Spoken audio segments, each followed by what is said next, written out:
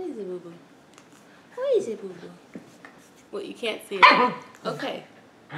Well, you can't see him. My little frame is my mom's puppy is like right here. Now she's all frisky and wants to play. Hello.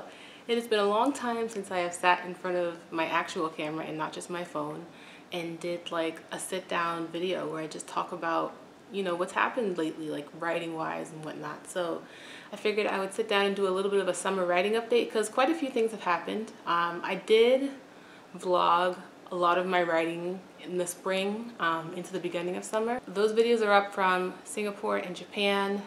Um, if you haven't checked those out please do go ahead. I can bark too. Um, I do feel quite out of practice with sitting in front of a camera, so forgive me while I gather my thoughts. And also, I hope the lighting is okay. So, where to begin? As you may know, I have been working on my project Stormcloud, my young adult fantasy novel, and I spent November 28th to May 28th, so exactly six months, writing this draft, what was termed draft 13. An unlucky number, but it actually was very lucky for me because it was the first draft that I had finished of this story in four years. I had had a lot of false starts where I start working on the draft and I lose steam and then by the time I come back to it a few months later, I've reconceptualized the plot and the story that I have there, the manuscript that I had been working on is no longer gonna work. Um, so then I have to like start from scratch basically and I did that a lot around the pandemic time. so let's start with the spring. So in March and April and May, me and my husband we spent two months in Asia, so we were in Singapore and we were in Japan. We loved our time in Japan, and one of the wonderful things about Japan was that I got to visit the place where my story, Storm Cloud, takes place. At least part of the story takes place in Yakushima, Japan. Oh. I fed you, I walked you, I played with you. We were just outside for like over an hour just when I was getting into a groove and now I've lost my train of thought. Oh, um, I'm so proud of the time that we spent there. It was only four days, but it was so magical. It was so enriching. It was so nourishing to my soul. Yeah, from that, I got a lot of notes, a lot of notes, a lot of things that I learned about Yakushima that I can incorporate into my story. So I finished Stormcloud knowing that I was going to have to go back and incorporate some of these notes because my perception of Yakushima and what I had found online differed a bit in some ways to what it was actually like in person. Satu is just sniffing around me. I'm sorry I keep like mentioning her and then like you can't even see her. She won't let me pick her up right now. She tries to bite me because she wants to play if I try to pick her up. Um, so I'll try to give you a little sneak preview of her some point in the video. Don't even start growling at me, Missy. She's so sassy and so demanding of your attention. Yeah, so I knew full well that as I was finishing the story, I was going to go have to go back and do some revisions to the parts of the story that take place in Yakushima because I just learned some things that change what I have in the story. But I feel like for the most part, it was mainly that I just learned so many cool things that would be awesome to incorporate into this story. Like I would be doing a disservice to not mention some of the things that I learned. And so I have to go back and see if I can incorporate some of these things without like changing my story too much. Once we came home from that trip, I spent about a week finishing my draft and I have a vlog of that as well. It was such a proud achievement for me. I had some thoughts about Stormcloud as I was finishing the story and when I finished the story and we'll see how these thoughts pan out. Basically, I had been envisioning this as like a four book series but the longer I spent in with this story, I was feeling like maybe Grace's story should just be a standalone story. Not that her entire story fits into one book, but I was thinking as I came to the end of it and as I was looking at things that I had to fix in another revision of the story, I was thinking like maybe I should just try to wrap up as much of this plot as I can, give as much closure as I could, and just see if this works as a standalone. Maybe not forever, but for now, you know. I don't know if it's just because I was getting burned out from Stormcloud as I was like writing this draft for six months without looking at any other story. Because I just was feeling ready to move on from this world and I've always wanted to just do Race's story justice. I wanted to honor her and to make sure that her story gets told and to do it in the best way that I can. And I want to make sure that, and in, and in finishing this draft, like I know there's things I have to fix, but in finishing this draft, it was the first time in my entire life and in my entire nearly 14 years working on this story that I felt ready to actually be done with it and actually move on from it. Like I've always kind of just been like I felt like I should move on from it because I had been working on it so long, but not because the story actually felt ready to be done in my heart. And that's kind of what I've been feeling with this story. So it's like, it's almost like graduating, like and going on to like the next phase of life. It's closing a chapter and being open for the next one. And so I feel mixed about this. Now looking back, it's it's now August, um, and so looking back on how I felt, you know, three months ago, I, I do feel a little bit mixed on this. But I also just don't know for sure what's going what the future is going to bring with this story. I feel like that's something I can only know once I go back into the revision, which I'm not quite ready to do right now. So I think that what I will do is just try to wrap up give as much closure to the story as I can and then maybe inevitably some threads will be left open and then in the future if I feel ready to come back to this world I can add to the story but that I just that it doesn't have to be something I do right now like maybe her story is not part of a series of books you know maybe there's just like companion stories in this world and that's a good segue actually into the next point that I want to talk about, which is Project Whisper. So Project Whisper, if you watched my um, Ireland and UK vlogs from last fall, 2022, you'll note that I was working on Project Whisper or Dark Storm Cloud, as I also called it, same story. Um, it's another story within the world of Stormcloud. Same world, different time period, different cast of characters. Just a random kind of idea that I'm throwing out there that I might or might not do is instead of having like Race's books, like multiple books from Race's perspective and with her story, maybe just doing Race's story and then doing Project Whisper story, which is a standalone, and then maybe doing a, series of companion novels. I don't know. I don't want to tie myself to that either. I will say that I am excited to get back to Project Whisper. I haven't really worked on it since the fall of last year since I put it down for Camp NaNoWriMo. Once I finished writing Stormcloud at the end of May, I had been intending for June to be a month that I just had fun with writing because I had just spent six months working on the same novel. I wanted to like have the chance to revisit my other projects and have the chance to just have a bit of fun with writing. So June was actually kind of a chaotic month because of that. So I did work on Project Whisper in terms of rereading it and I renamed my main character. I had said at first that it was Race's sister, that I had just kind of snatched her from Race's story and put her in this world completely unrelated to race. Just I liked her character and the struggles that she went through and the thing that she was dealing with. And I wanted to see what that was like in the world of Dark Storm Cloud. I decided to change her name and to change some things about her so that it wasn't actually Race's sister anymore. So Race can have her sister back probably.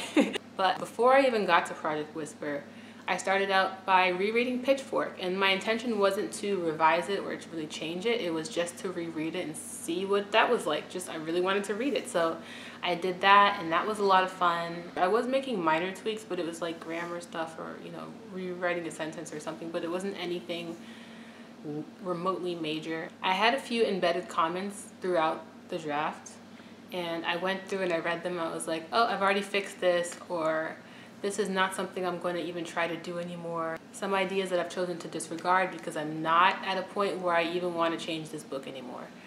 Um, I am very happy with where it is, but after I read it, after I finished reading it, I was like, well, this book is like the most whipped into shape book that I have. You know, it's complete. I have worked out the many of the major issues and I know I should probably do some kind of beta reading thing, but full disclosure, I've never done the beta reading process. I don't have any critique partners or anything like that, and so I just don't, it's not a process that I really know what to do with. So I kind of just, and I know this is maybe not, not something I would recommend, but it's something I do anyway and have done anyway, um, is just go straight into querying like I know that there are some things that could be worked out in the book and I'm probably like burning some bridges by sending a not perfected manuscript to agents. But um one I'm stubborn, two the idea of critique partners in beta reading is daunting and I just honestly don't know how to deal with it. So I just kind of go straight into trying to look for an agent. I took out my old query letter, which I'm actually very proud of, and I tweaked it a bit and I tweaked my synopsis as well, and I picked out six agents who I thought would be good fits, and I queried them. And five of them got back to me with rejections. no surprise there. And one of them I just never heard back from, but I'm assuming that's a rejection as well. So the querying process, even though this it wasn't a surprise that I got all those rejections, it still kind of got me down about this story in particular. I feel like with any of my other stories, it might have just been like, it might have just rolled off my back like no problem. But I think one of the things that I'm, I guess, self conscious about with Pitchfork is that while I am very proud of it, and I think it is so much fun and funny and just weird, sometimes I worry that it's like too weird. I just kind of feel like it's never going to be at a standard that's worthy of something like publishing because I feel like it's very niche. I feel like it's very silly. Potentially it's campy. Um, but it's definitely like it just leans into the weird, you know, sometimes in ways that some people might find a little off-putting. Yeah, I just feel like it's not trendy enough for an agent to look at that and be like, that fits the current market or that that's the future of publishing you know like nothing like that. You know they're gonna look at it and be like you know this is this is very interesting sydney and i think you should keep pursuing this story but i'm not the right fit for it you know. With that said even though the rejections kind of got me down about this story you know i've been working to kind of put a positive spin on it. Like yeah it's silly it's weird let it be weird. Let it be who it is you know? Maybe this story is only meant to be for me. Thriller mystery author peter swanson he had written like four novels before he published his fifth one. And for me like i've always stuck with my early novels like stormcloud and pitchfork at least are some of my earliest story ideas. You know while a lot of authors might have just abandoned those projects i always kind of felt like I needed to stick with them and I wanted to stick with them because I saw so much potential in them to grow and they have grown and changed with me. So maybe Pitchfork is just the book that I write before I'm able to publish another book in the future, you know. I think at this point just not going to push it. You know, I'm not even going to try to change it to make it fit what publishers and agents might want. I'm just not going to do that and I think that's okay. And cuz I'm again, I'm happy with the, where the story is. I don't think it's worth changing for that. Especially because I have other stories. You know, I have Stormcloud, I have Hotel Story, and I even have Project Whisper. Like, who knows where that's going to go? That's still very early on in the process of writing it. So, look, I haven't even had that story idea for a full year yet. so, after I finished reading Pitchfork and after I sent out those query letters, I actually started to go into book two, like planning that and figuring that out. I only spent a few days on this and I think I did my index cards. So I wrote different, I came up with a bunch of different plot points. Book two is different from book one with Pitchfork because while Pitchfork has like a this needs to happen in order for this to happen, so it's like a, it's got a like defined series of events. Right now, for book two of Pitchfork, I have no like conception of like what order the events need to have. Like there's an overarching plot, but it's just sort of like I've always kind of envisioned like just a bunch of random fun things happening throughout the story with the characters, like obviously developing the plot, but like just having fun, like just kind of throwing things on a wall and seeing like what sticks. So it's definitely going to be a fun book to maybe discover right a bit um, whenever I get to it. So I did like, I came up with a bunch of scenes that could go in the book. I wrote them out on index cards because I really needed to do that just to play with the order and I think I even opened up the manuscript and maybe wrote like the first like 100 or 200 words before like realizing I wasn't quite in the mindset to write this right now. I was intending it to be my Camp NaNoWriMo project for July, but because I lost steam on it after a few days and just sort of felt lost with it, I put it down. And so after I put that down, I think that's when I picked up Project Whisper and read through that and like changed my main character's name and just started looking at the plot a little bit. Um, I think I even did index cards for that story. I only did that for a few days before we're at the end of June and I, like again, this was a month I was just gonna have fun with writing and see where it took me. So I kind of jumped between all my projects and then ultimately like the last couple of days of June landed on Hotel Story. And that is where I've been spending all of my time since. Like it's now August, I've been looking at Hotel Story since the end of June. So it's been well over a month at this point. Instead of doing a read through of Hotel Story, I just started looking at my notes and decided to just jump right in. So then I decided, at the last minute in June, decided to make Hotel Story my Camp NaNoWriMo project. So I registered it, I set a goal for like 15,000 words, and steadily chugged away at this novel throughout the month of July. I went to different cafes. I was writing around my in-laws house where we live. We were supposed to go to New Zealand in July. We were gonna do a house sit, uh, two dogs and a cat in New Zealand, and it was gonna be fantastic. But for family reasons, we ended up having to cancel this trip, which we were actually kind of fine to do because we were a little stressed. There was a lot happening in June outside of me like doing all this like writing and stuff and reading like there was a lot happening in my family and stuff and also just like personal life in June that made it kind of stressful to have just come back from Japan at the end of May and then spend June between my mom's house and my husband's parents' house and then also preparing to be to go away again to the other side of the world for a month. like June would have been very stressful if we were still going to go to New Zealand. So we ended up canceling that trip so when I opened up Hotel Story at the end of June, I had 59,143 words. That had taken me up right before the climax. And I had gone back to start adding in this plot line for my character, and I had written a couple of scenes from her perspective already, so I was just picking up that thread and continuing it on. And as I was doing that, I kept figuring out other scenes that needed to be added, whether they were from her plot line or not, just to beef up the story and bulk it out a bit and make things make more sense and set things up a bit better for later, but also adding in entirely new threads to the story. And so throughout the month, month of July, Camp NaNoWriMo, I wrote a total of 22,382 words. 22,000 words. I think, if I remember correctly, that that is the most amount of words I have ever written for this story in one month. Yeah, that is the most words I've ever written in a month by almost twice as much. It's the kind of story that I've just been like inching away at. Yeah, I wrote 22,382 words this month. My best writing day was, let's see, Wednesday, July 12th, where I wrote 3,443 words. And that was the day where I had finally caught up with her plot line that I had added in to where I had left off just before the climax. And then literally the next day, I realized that there were more scenes I needed to go back and add. So I had to, I just, the entire month of July, I kept going back and re- catching up to where I was, going back, adding more scenes and catching up to where I was. And so it's funny, I ended the month basically exactly where I started, like still in the same scene.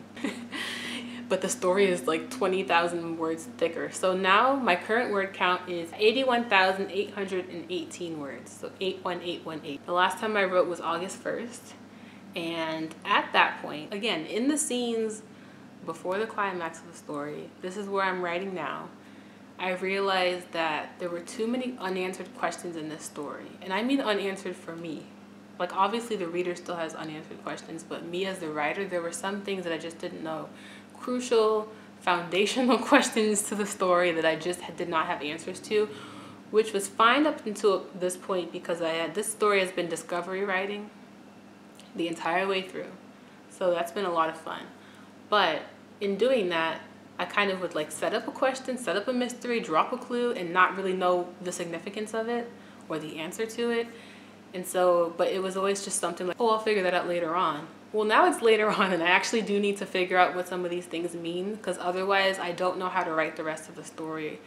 Um, some of these scenes just need answers in those scenes. And so I had to stop writing because I was just too confused about what to, where to go next. And I actually around this time also started exploring the note-taking app Notion. I use OneNote Microsoft OneNote as my story Bible, so all the information about the stories is there.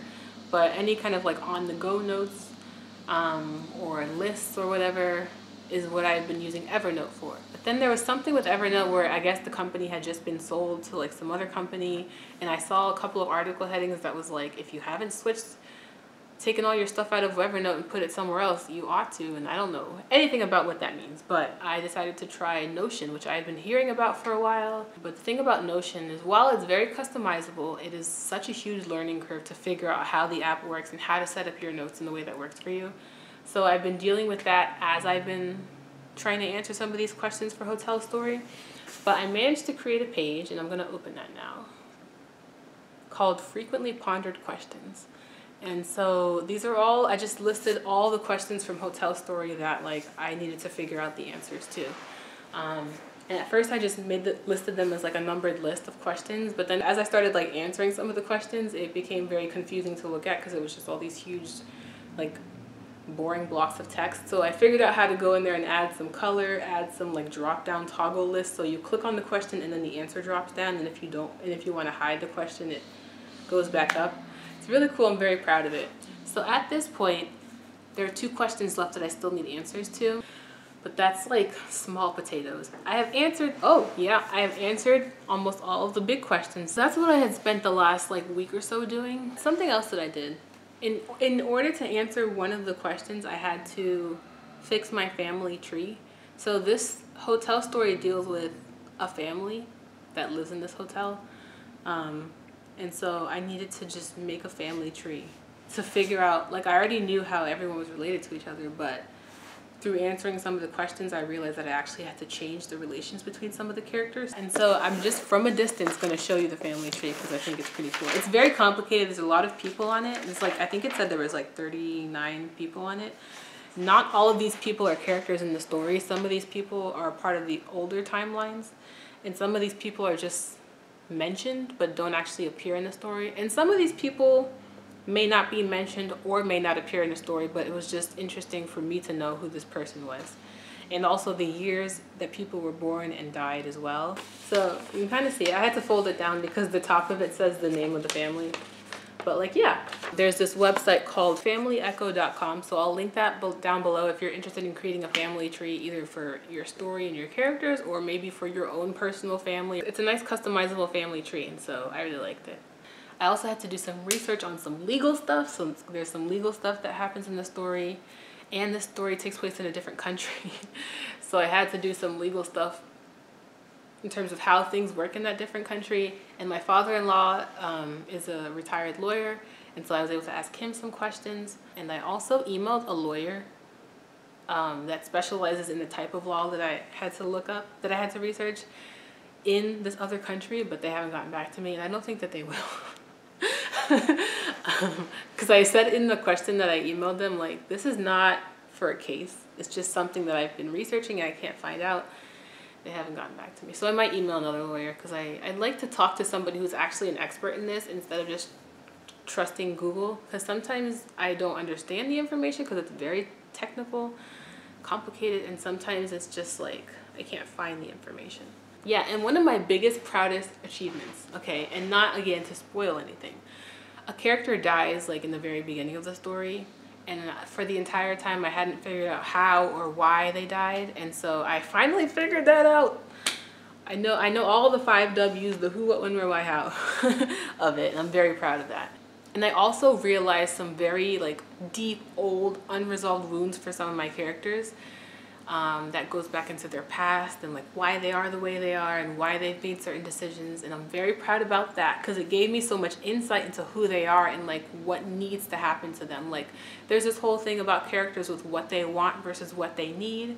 They start out with the goal and then at, by the end of it they've achieved either their goal or they've achieved something and that might be the thing that they need and the thing that they want isn't always what they need you know?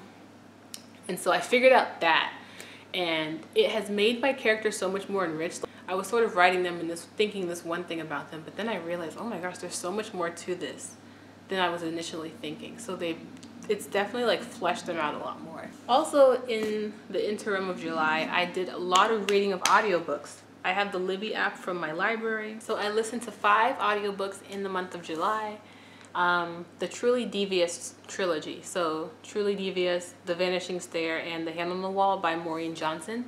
This series is so much fun. I love it so much. I initially started reading the paperback of the first book and I just was like not super invested in it, like the first 20 or 30 pages of it. But then, so then I was like, when this happens, I look look and see if my library has the audiobook because sometimes it's just like reading it is just not doing it for me and I need to listen to it. And at first I was like, the audio narrator's voice is kind of weird. But then like after like a chapter, it just, everything suddenly clicked. the characters came to life. They were so funny and so weird and so whimsy, whimsical. Um, so I just, it's this story, this trilogy is so much fun. And it's a mystery and it's similar to Hotel Story in that there is a mystery in the present and a mystery in the past. And that there's these two concurrent timelines going on. And so I thought that was cool because that gave me some not inspiration so much well i guess inspiration just like a boost of motivation to keep going with my story. I also read i also listened to mexican gothic by silvia moreno garcia. This book was interesting.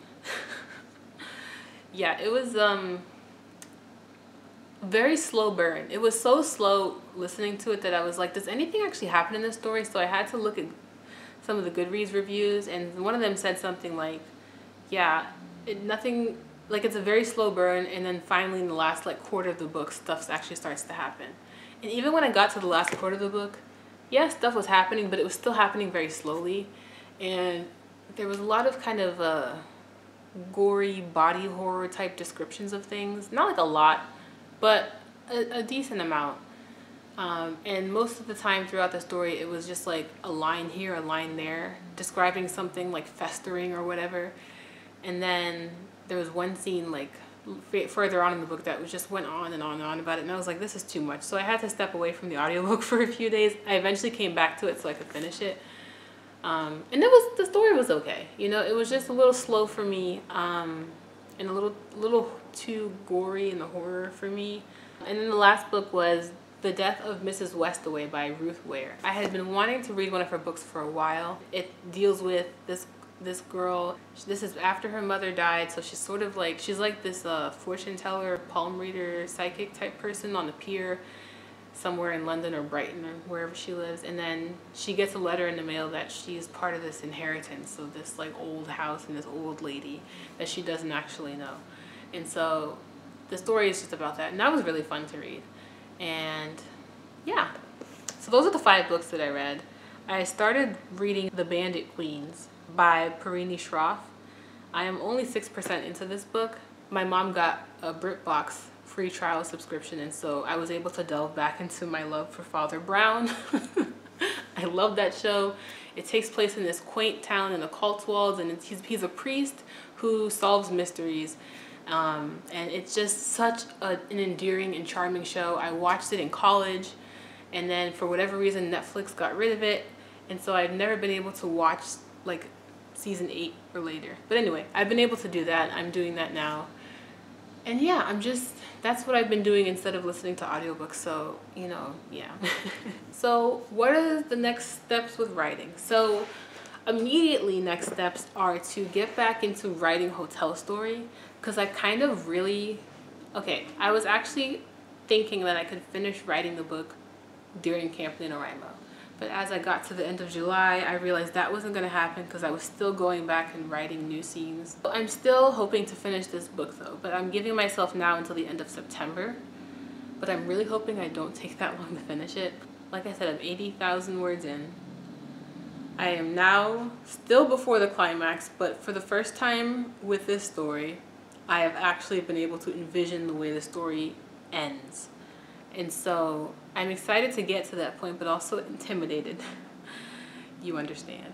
But I do need to just sit back down with this story and get back into it. I'm allowing myself this break now because I realized at the beginning of August that I'd been dealing with this story for over a month. And that was around the time that I got, that I hit a wall and needed to go back and answer some of these questions. And so I took a break from making myself write to to deal with answering some of these questions and that's been really fun and really useful. But now i have to either go back into writing hotel story or maybe i just take an extended break and fill the creative well a little bit. Um, so you know watching father brown watching housewives of atlanta. Oh i'm supposed to bake today. I said i was going to do that. I'm oh maybe i'll do that next. That'll help fill the creative well. While i watch father brown i can knead the, i can knead some dough and I can make some award-winning strawberry scones. No, that's a Father Brown joke. No, just just dinner rolls. that's the immediate future. So like I said, I'm hoping to finish writing Storm uh Storm finish writing Hotel Story by the end of September, and then I want to take a break from writing for like the first half of October. Um, because I've got something going on in the second half of October into NaNoWriMo that I want to have some motivation to write for. So I want to take a break in October, the beginning of October, so that way I can use that time to fill the creative well and then hopefully be able to hit the ground running a bit better come NaNoWriMo. Obviously NaNoWriMo is still a few months away, but it's closer than I realized. So I feel like once we get through August, we kind of turn a corner and I can actually see the fall. Right now the fall feels so far away, but it's actually next month. But I think that that's all that I have to say today. I have been talking to the camera for 56 minutes, no, 54 minutes. So this is gonna be a treat to edit. I'm gonna go put poor Satu out of her misery. She needs some entertainment and bake some bread. Satu boo boo, come here boo boo. I promised you I'd let you see her, so. Come here, boo boo. Oh, so cute. Come here, Snookums. Oh my gosh, this is her. If you haven't already seen her in one of my other videos, this is her. Look at her. Say hi, Satu. Oh my gosh. Okay. There you go. Go back to what you were doing if you'd like. Or you can stay here with me. You can stay here with me. you want to do my outro with me? Come here, Boo Boo. Come here. All right. Sorry if it's a little dark now, but thank you so much for watching this video. I hope you liked it. I hope you enjoyed, and I hope that your writing projects are going well and that you're having, my head is cut off, and that you're having a wonderful summer or winter or whatever season you're experiencing where you are. I can't get this camera angle together. Um, but yeah, thank you so much for watching, and I will see you, we'll see you in the next one. Bye.